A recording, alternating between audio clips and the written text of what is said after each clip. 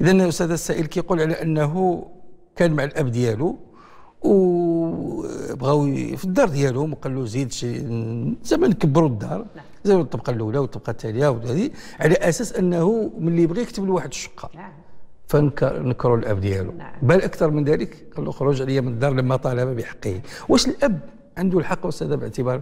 يقول لك أنت ومالك لأبيك وزعما راه ديالي انت أنت كلك ديالي. نعم. هذه المسألة اللي كيتكلم عليها السائل كتعلق عند الفقهاء بواحد القضية كيسميوها الإلزام بالوعد. لأن اللي بين الإبن وباه دابا وعد. قال له عاوني نبني هذا الدار وأنا من بعد غادي نساعدك تشري الدار ديالك مستقلة. هكذا. هذه المسألة ديال الإلزام بالوعد عند الفقهاء. لأن الإنسان إلا وعد شي واحد شي وعد المفروض أن يفي به. هذا هو اللي كنبدأو به. طيب واش عندنا الحق أن نلزم شخصا وعدنا وعدا أن نلزمه به بمعنى خاصو يوفي بديك الوعد. هكذا هذا ماشي إيجاب وقبول هذا ماشي عقد ماشي بيع وشراء ولا كراء لا هذا وعده وعده وعدا. وفي النهاية قال له ديما ربما ما قلتش هكذا ولا أنت ما فهمتيش وتشاجر وقال له خرج من الدار قال له خرج عليا من الدار. حنا نتكلموا في هذه القضية ديال الإلزام بالوعد. عاد نتكلموا على العلاقة ديال الابن بالأب ديالو. الفقهاء في هذه المسألة ديال الإلزام بالوعد يعني وإن كانوا اختلفوا فيها كيقولوا يعني الوعد بالنسبة للناس عموما لأي واحد قال شي وعد ليس ملزما. ليس ملزما. إلا وعد شي وعد لشي واحد ماشي ضروري أنه يوفي به وأنه يديره. بعض الفقهاء قالوا هو ملزم ديانة وليس قضاء. معنى هذا الكلام. بمعنى إلا وعدوا مثلا قال له غادي نساعدك. من بعد ما تساعدني في الدار غادي نساعدك باش تشري دار. ما معنى ملزم ديانة؟ يعني بينه وبين الله. إذا وفى بهذا الوعد راه يعني الدليل عليه ما وفاش بينه وبين الله هو اللي غادي يعني يحاسبه. وما معنى هذا هو ديانة. وما معنى ملزم قضاء؟ كيقول هو ملزم ديانة ولكن قضاء ما عندوش الحق. لو ما كانش الأب مع ابنه أنه يمشي عند القاضي ويقول لقد وعدني وأخلف وعده وهذا. بعض الفقهاء آخرين كيقولوا ما يمكن الإلزام به ديان ما يلزم به الإنسان ديانة يمكن أن يلزم به قضاء ولكن هذو قلة اللي قالوها. نعم. إذا كنرجعوا كنقولوا الوعد ليس ملزما بالنسبة للاب وقال واحد الكلام وتراجع عنه. هذا كأننا كنلخصوا هذه نعم. المسألة. طيب والاتفاق اللي كان بيناتهم؟ قال له ساعدني نبني الدار وأنا نساعدك.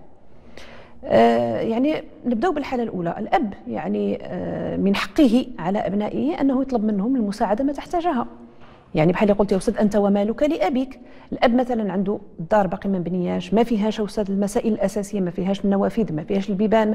بغى يعني يبني وي أو يزيد طابق أو يزيد طابق اخر مثلا فين يتوسع؟ وهذا والابن ديالو قادر مثلا على هذا. يعني هذا حق الأب على هذا الإبن أنه يساعده.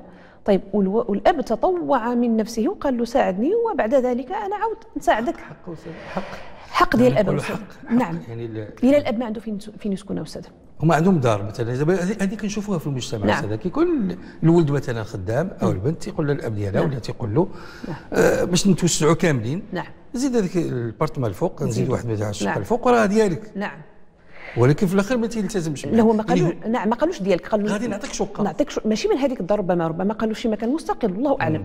طيب هو وعده هذا الوعد. هذا الأب بغى يدير الدار بغى يتوسع الابن قادر. حنا في غير الحالة ديال هذا السائل كنقولوا خصو يعاونوا خصو يساعدو ما يخليش الأب ديالو محتاج للمساعدة ويطلبها من واحد آخر وهو ما عندوش فهو يعني هو اللي خصو يتطوع ويساعده اللي لازم على هذا الولد لازم عليه واجب عليه يوفر لهم سكن ماشي شرط يكون السكن ديالهم ماشي شرط يكون أكثر من طابق المهم سكن فين يكونوا عايشين حياة كريمة.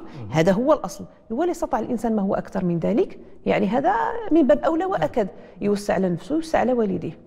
الاتفاق الذي بين هذا الأب وهذا الابن أن يساعد الأب ديالو والابن أنه يعطيه واحد الشقة. واش معاه في الدار ولا خارج الدار؟ ما تبينش الأمر. من بعد ما سال الأب وبنى الدار وإلى آخره ذكره الابن بهذا الوعد. قال له وعد ثاني كذا وكذا. قال له ما قلت لكش أنا هذا الكلام هذا. ما ذكره. ذكره. على حسب قول السائل إحنا. نعم. وهو مصدق فيما قال. قال له ما كاينش. ربما تشاجر ربما تزايدوا في الكلام ربما فطردوا من البيت. قال له خرج من البيت نهائيا. يعني آه هنا كنرجع نقول لهذا السائل خصو يستحضر المقام ديال الوالد ديالو هذا الأب ديالو. يعني فرض أنه وعده وعدا وأخلفه. بلا ما نقولوا ما عندوش قدرة ينفذ ولا ما أخلفه ما بغاش يكمل الوعد ديالو. بلا حتى شي حاجة.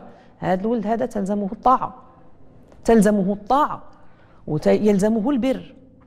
وفرض أنه تشاجر مع الأب ديالو غادي يرجع ويتصالح معاه. ويستمر في البر ديال الأب ديالو. وخاطر ضمن البيت هذا الولد. خصو يرجع عند الأب ديالو. ويطرق الباب ديالو أكثر من مرة. ويبقى يعني بحال اللي كنقولوا حنايا تحت رجليه إلا حتى يصالحوا وحتى يبغي يهضر معاه.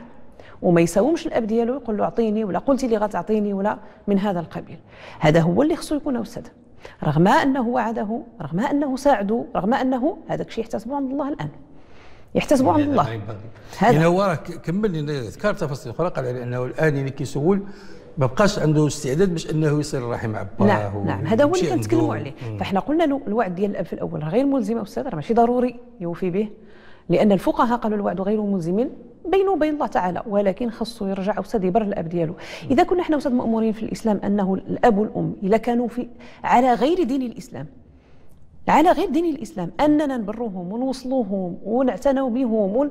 فكيف بالأب وقع بينه وبين ولده خلاف وشناء على ولد واحد القضية كانت وقع الخلاف فيها دائما. فهذه الأمور المادية تعوض دائما دائما تكون هكذا. هي فعلا أستاذة هي من خلال الصورة اللي حكى السائل.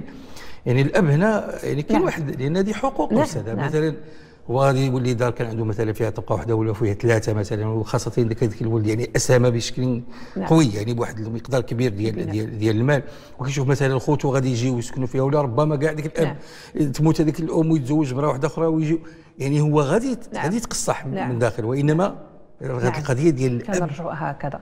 ملي كيتعارض أستاذ عندنا هذا الحق اللي قلت يا أستاذ. مع هذا المعنى الكبير اللي هو البر اللي الله عز وجل في القرآن الكريم قارنه بعبادته وبتوحيده ما كيبقاش كنرجحوا أستاذ البر ديال الأب في هذه الحالة هذه نعم. وكنقول لهذا السائل هذا رغم الخلاف اللي وقع بيناتهم والأب اللي طردوا من البيت خصو يرجع عند الأب ديالو ولا يبرح مكانه حتى يرضى عليه. ويفرض أنه ما بغاش يتكلم معاه كيبقى يحاول ويكرر المحاولة إلى حتى وسد يرجع على وفاق مع أبيه. وما باقيش يجبد له ذاك الموضوع. نهائيا لأمرين الامر الأول.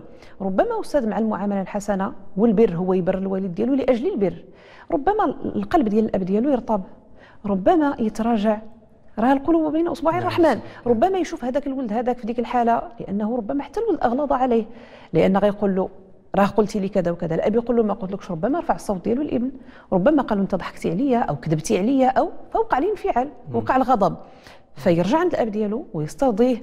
لعل الأب ديالو يعني يعني ماذا أقول؟ يحن القلب ديالو ويرطب القلب ديالو من جهة ديال هذا هكذا ثم يعاونوا من جهة أخرى حنا نقولوا فرض أن هذا الأب ما رجعش عاونوا ما رجعش عاونوا ولكن هو ملزم ببره وبصلته ويرجع عنده إلى آخره. وهو لا يدري ما الذي سيفتحه الله عز وجل من خزائنه جراء الصبر وجراء المحافظة على هذه العلاقة بينه وبين الأب ديالو والمحافظة على العلاقه مع الأسرة كاملة. هكذا فهو صبر على هذا يعني الحق نعم. ديالو اللي مشى وصبر على البر وبر الوالد ديالو لأن إحنا كنبروا الوالدين ديالنا وساد في الأحوال ديالنا العادية ويعني والله عز وجل يعني يذكر. والنبي صلى الله عليه وسلم الأجر الكبير في هذا البر فما بالك الإنسان وساد في هذه الظروف وكيضغط على نفسه وكيقوم بهذا الواجب ديال البر مع الأب لعل الله عز وجل يفتح عليه من جهة أخرى من حيث لا يدري ومن حيث لا يحتسب. هذا نعم. أنا أستاذ غنرجع لواحد المسألة لأن لابد من يعني نبينوا الحكم الشرعي فيها بشكل دقيق جدا. نعم. يعني كيوقع فيها شوية نعم. ديال التسيب. مثلا أنت ومالك لأبيك. نعم. يعني بعض الآباء نعم.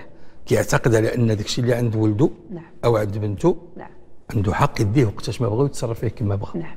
مثلا دابا هنا الاب الابن مثلا خدام عنده مثلا واحد 30 مليون أرى نزيدوها في الدار نعم. يعني واش هذا الحق هذا هذا كيعطيه الإسلام نعم. بهذا الشكل هذا ولا عند نعم. هذا الحديث عنده شي معنى آخر هذه المسألة عندها ضوابط اوسط هذه المسألة عندها ضوابط المال ديال الأب راه ديالو المال ديال الإبن راه ديالو يا كوسد الأب ملزم ملزم بالنفقة على أبنائه حتى يبلغوا حتى يكبروا ويكونوا طيب. قادين على على الكسب والعمل وهذا. طيب الولد عنده المال ديالو والأب مثلا محتاج أو فقير أو لا يملك قوت يومه أو لا آه ما قادرش يخدم. هكذا. فهنا كنقولوا أو الفقهاء كيقولوا هذا الابن يجب أو تجب عليه نفقة أبيه خاصو ينفق عليه على باه وعلى امه بالمعروف.